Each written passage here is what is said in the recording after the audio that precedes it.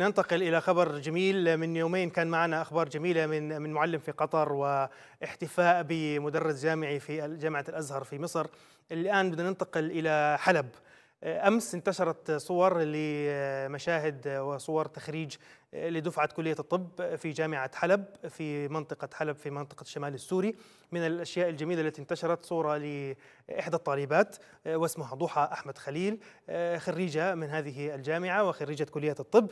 الذي لفت الانتباه وجعل هذه الصور والمشاهد تنتشر بشكل كبير هو تفاعل وردة فعل والدها الحج أحمد خليل بفرحته التي يعني مباشرة سجد سجود الشكر أمام الحضور والجميع من كان موجودا في تلك الساحة. الأمانة صور جميلة الأمانة يعني واضح أنها يعني خارجة من الأعماق ومشاعر صادقة. يسعدني أن نرحب نبارك لهم بالأول ويكونوا معنا نتحاور معهم شوي. بالحج أحمد خليل أبو محمد وابنته الدكتورة ضحى أحمد خليل. أرحب بهم عبر زوم حياكم الله. حياكم الله. حياك الله. يا حياك أهلا. الله أهلا وسهلا يا يا مصر. أهلا أهلا وسهلا ومرحبا. حياك الله عمي أبو محمد. يا مرحبا. ومبارك تخرجك يا ضحى إن شاء الله.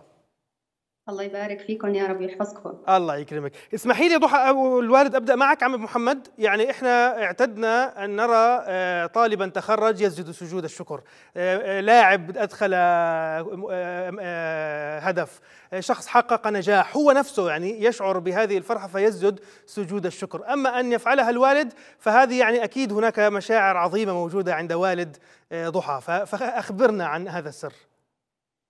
بسم الله والصلاة والسلام على رسول الله وعلى أصحابه ومن والاه.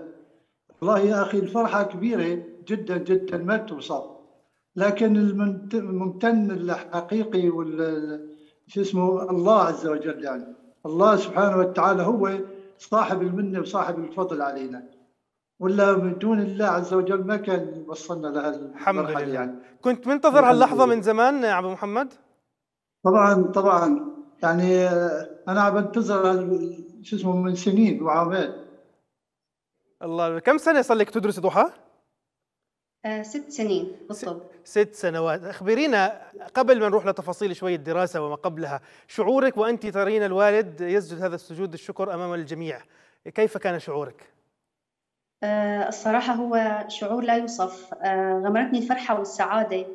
آه شعرت بشعور قشعريرة الصراحة. يعني انتابني شعور عظيم ما حسيت فيه من قبل. آه لما عندما يشعر الإنسان بخوف أو فرح آه يلجأ لأكثر آه شخص أو أكثر ملاذ بيشعر فيه بالأمان. فوالدي هذا دليل إنه الرابطة قوية بين بينه وبين الله عز وجل فألهمه بالسجود امتنانا له. ما شاء الله. يعني نعم صراحة شعور جدا عظيم أثر فيني كثيرا. يا رب يا رب الله يتقبل منك ومنه يا رب وينفع فيك وفيه إن شاء الله يا ضحى. طيب خبرينا بداية عن أنت دارسة طب آه، في جامعة حلب. في كأنه سبب اللي فهمته أنه أنت ما دخلت الطب هيك عن عن فقط عن رغبة أو لأنه أنت متفوقة كما نعرف في مجتمعاتنا بشكل عام. إيش السبب اللي خلاك تدخلي كلية الطب؟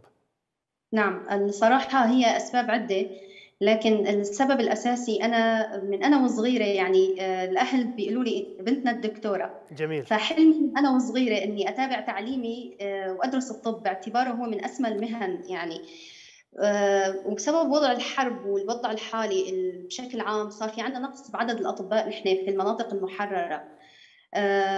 وصار في نقص في خدمة أهالينا. فدائما كان والدي ووالدتي يزرعوا فيني فكرة إنه أنت آه، حتصيري دكتورة إن شاء الله لخدمة أهالينا آه، في المناطق المحررة وبسبب هذا النقص في الكادر الطبي. والله آه، يعني يقدرني ويسخرني لهذا المجال إن شاء الله. يا رب يا رب. عم محمد خبرنا عن عيلتك. إيش عندك ما شاء الله أولاد وبنات و شو البركة موجود عندك؟ والله بفضل الله عز وجل الله جل جلاله رزقني يعني ذكور أربعة وبنات أربعة. ما شاء الله ما شاء الله. إيش دراستهم؟ أعطينا هيك فكرة عن ال والله البنات البنات يعني وصلوا لمرحلة البكالوريا وس- وسجلوا بالجامعات وبدأت الثورة عنا هون.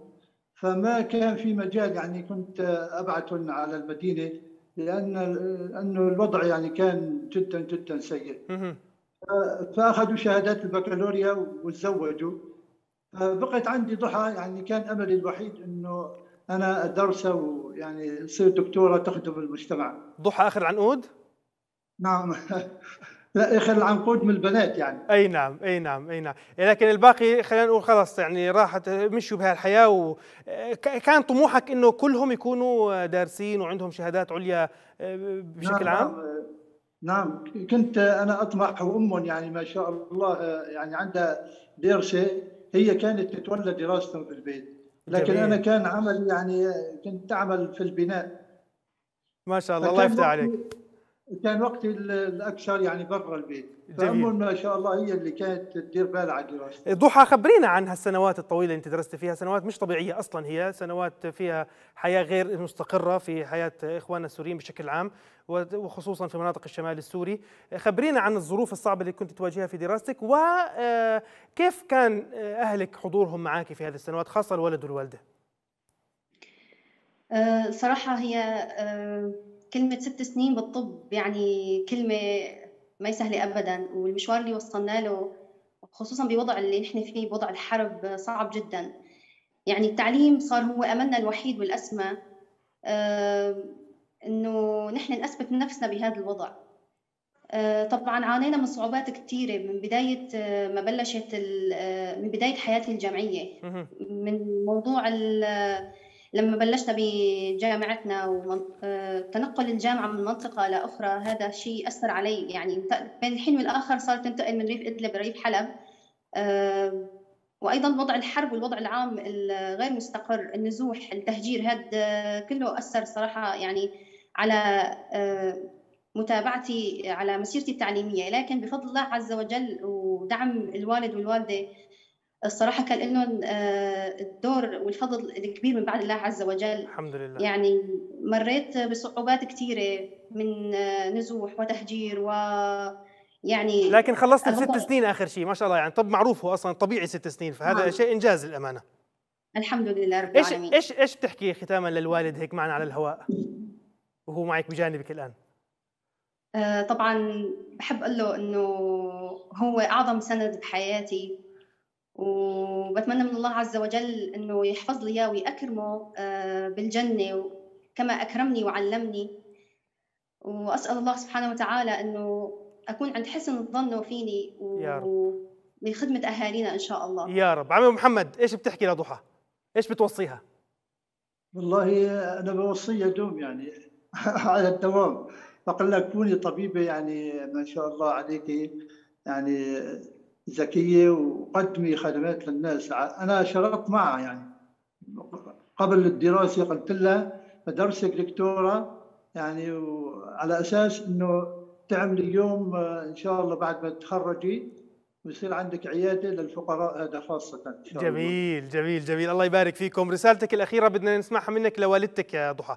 إيش بتحكي لوالدتك اللي مش حاضرة معنا اليوم لكن أو الآن في هذا اللقاء لكن بالتأكيد كل التحية لها. طبعا أنا بحب أقول لها إنه انت كنتي السند العظيم بحياتي آه، كان لك دور كبير بدعمي نفسيا ومن كل النواحي. آه، والدتي شخص عظيم جدا مضحي. يعني رغم كل الظروف اللي مرت فيها لكن هي كانت آه، سند لي وقد ما حكيت وقد ما قلت من كلمات صراحة مستحيل يعني أقدر أوفيها جزء من المعروف اللي قدمت لي إياه خلال مسيرتي الدراسية وخلال حياتي كلها. الله يديمكم لبعض إن شاء الله ونشوفك هيك دكتوره عالمية يا ضحى بإذن الله دكتوره قد الدنيا وكلنا بنفخر إنه نجي نراجع عندك بإذن الله عز وجل. الدكتوره ضحى أحمد خليل خريجة كلية الطب في جامعة حلب. شكرا جزيلا لك عمو محمد. شكرا لوجودك معنا لليوم وتحية لكم وللعائلة الطيبة.